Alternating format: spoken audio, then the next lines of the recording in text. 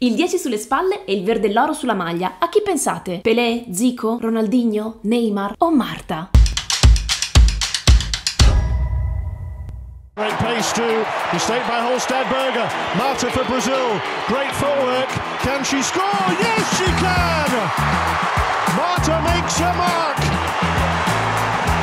Marta Vieira da Silva è una delle migliori giocatrici al mondo, definita addirittura la Pelé con la gonna. Con 17 reti realizzate è la migliore marcatrice nella storia dei mondiali femminili. Per la FIFA è 6 volte la migliore giocatrice al mondo. Nata il 19 febbraio del 1985 in un piccolo paesino del nord-est del Brasile, era l'unica bambina a giocare a calcio, il che non è difficile da credere visto che fino al 1981 in Brasile il calcio femminile era vietato. Suo padre lascia la famiglia quando lei aveva solo un anno. Crescerà con la madre, portinaia, e i tre fratelli. A soli sette anni Marta si innamora del pallone e da quel momento non lo lascerà mai più. La svolta arriva quando, quattordicenne, viene notata dalla squadra femminile del Vasco da Gama durante un provino. I tecnici rimarranno stregati da quel piccolo tornado. Il contratto è assicurato e anche un alloggio a Rio per i suoi familiari. Quattro anni più tardi, nel 2004, Marta decide di volare verso l'Europa, approdando a Lumea, in Svezia. Scelta decisamente decisamente azzeccata visto che nelle successive quattro stagioni segnerà ben 111 gol in 103 partite.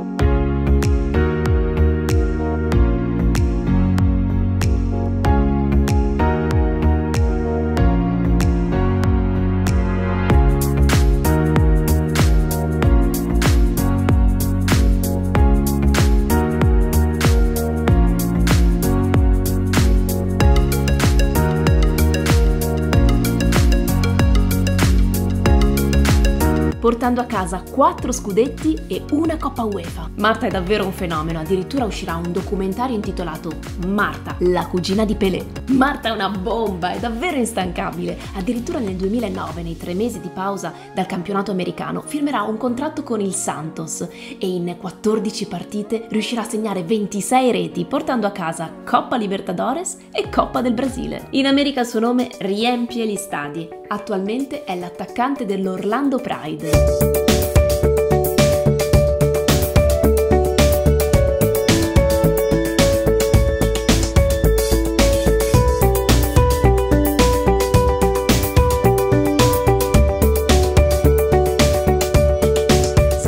State chiedendo, con questi risultati chissà quanto guadagna dagli sponsor? Mm, non proprio. Agli ultimi mondiali in Francia, la numero 10 del Brasile ha deciso di non avere sponsor ai piedi, nessuna partnership. Ma perché questa decisione? Semplicemente perché gli sponsor, i maggiori sponsor sportivi mondiali, le offrivano contratti ridicoli rispetto ai colleghi maschi di pari livello. Tanto per capirci, Neymar guadagna 269 volte più della brasiliana. Vi sembra giusto? Per questo sulle sue scarpe applicherà i colori rosa e azzurro per promuovere la campagna Go Equal. Pallone uguale, campo uguale, regole uguali. Ma Marta non è ingorda, non vuole la scena tutta per sé, anzi vuole dare spazio alle nuove generazioni. Saranno proprio loro a dover portare alto il nome del calcio femminile e del Brasile. Le sue parole arrivano dal cuore. Non ci sarà una Marta per sempre, il calcio femminile per sopravvivere ha bisogno di voi. Non vai ter una formiga para sempre, non vai ter una Marta para sempre, não vai ter uma Cristiane. E o futebol feminino depende de vocês para sobreviver. Então pense nisso, valorize mais. Sono state queste le parole che ha utilizzato per salutare il Mondiale 2019, dopo la sconfitta con la Francia. La sua storia è una vera e propria lezione di determinazione per tutte le giovani ragazze che vogliono avvicinarsi al mondo del calcio. Ambasciatrice Unicef e simbolo di beneficenza, carisma e personalità dentro e fuori dal campo. Questa è Marta.